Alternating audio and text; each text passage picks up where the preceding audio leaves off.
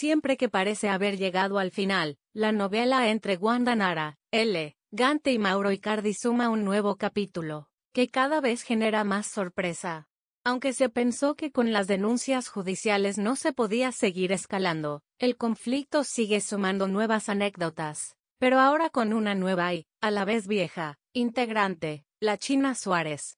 Los problemas entre los papás de Isabela y Francesca comenzaron hace algunos años y continúan hoy en día, con un descanso intermedio donde todo parecía estar bien. La expareja encontró su quiebre definitivo, que empezó a generarse hace tres años con el vínculo infraganti entre Mauro Icardi y la China Suárez, la actriz, que en su momento fue señalada como la culpable de romper la relación a fines de 2021, fue, al mismo tiempo el detonante para que Wanda Nara pensara en separarse y viajara a Buenos Aires, donde finalmente conoció a L. Gante. De hecho, según contó hace unos días Janina Latorre, Wanda Nara habría tomado contacto por primera vez con L. Gante en aquella oportunidad, a quien ya había conocido en su gira por Europa.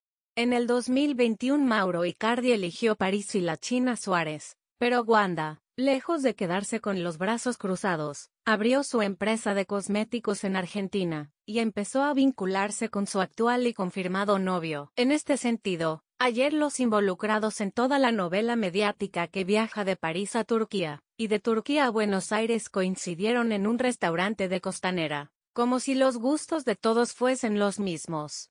Por su parte, la panelista de LAM, Janina Latorre, publicó en las redes sociales las fotos donde se los ve a Wanda con su pareja en una mesa, el delantero del Galatasaray en otra con amigos y una joven, y la China Suárez en otra mesa, todos en el mismo lugar. En Gardner están Wanda con L. Gante, en otra mesa Icardi con una chica y amigos, y en otra está la China.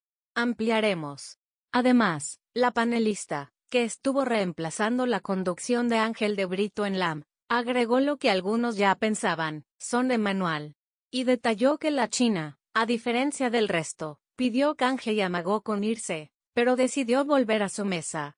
A su vez, contaron que si bien la noche empezó en Gardner, algunos de los involucrados, como Mauro y la China, cada uno por su parte, consideraban terminar la velada en el boliche tequila, aunque más tarde informaron que los que terminaron la noche en el boliche fueron la pareja de la empresaria y el cantante. En este contexto, Ángel de Brito compartió en su cuenta de X una captura de pantalla donde mostraba mensajes que aseguraban y detallaban la coincidencia. Ingresaron a Tequila Wanda y L. Gante. Comenzaba el chat, que luego aseguró tener data hermosa. Wanda se quiso pegar con la China Suárez, que se acercó a saludar a L. Gante y ella empezó a grabarla. Además, la información continuó contando que la empresaria, finalmente, se enojó. La china le dijo, ¿por qué me grabas? Sos una mujer grande, estás de novia, y ahí Wanda se enojó. A partir de esto, la novela vuelve a estar en el ojo de todos, ahora también con una de las integrantes que parecía haber abandonado en otra temporada, pero definitivamente parece estar de vuelta en el conflicto, la China. Mientras tanto y por el otro lado, Wanda y L. Gante continúan presumiendo su romance y Mauro Icardi parece disfrutar mientras se enfrenta a distintas medidas judiciales. VFT